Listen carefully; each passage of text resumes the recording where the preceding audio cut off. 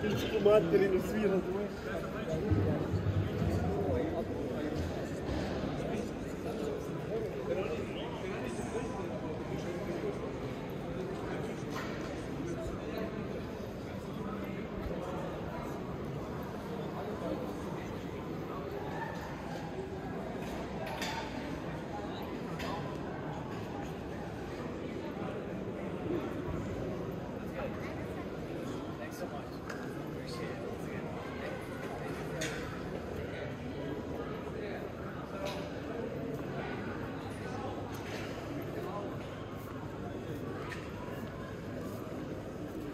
Indico.